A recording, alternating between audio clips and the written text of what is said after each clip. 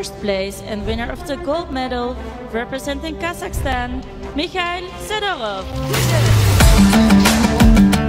Снова Михаил Шайдуров радует нас очень крутыми новостями. Дело в том, что он занял первое место на международных соревнованиях в Нидерландах. Михаил Шайдуров это фигурист из Алматы, и мы вам про него уже рассказывали, а сегодня он снова дает повод для гордости и восхищения. Дело в том, что он выиграл международный турнир Challenge Cup фигурному катанию в нидерландском Тильбурге. На этом турнире выступили 157 мощных спортсменов из 32 стран мира. 19-летний лидер сборной Казахстана Михаил Шайдоров стал лучше в сумме двух упражнений и обошел обошел японцев Тацую Цубоя, призера юниорского чемпионата мира и универсиады, и Казуки Тамона, который находился среди 10 лучших фигуристов мирового рейтинга ICU. Это очень крутые новости, Михаил Шайдоров продолжает традиции фигурного катания Казахстана. Поздравляем его с победой и желаем дальнейших успехов. Алга Михаил, Алга, Казахстан.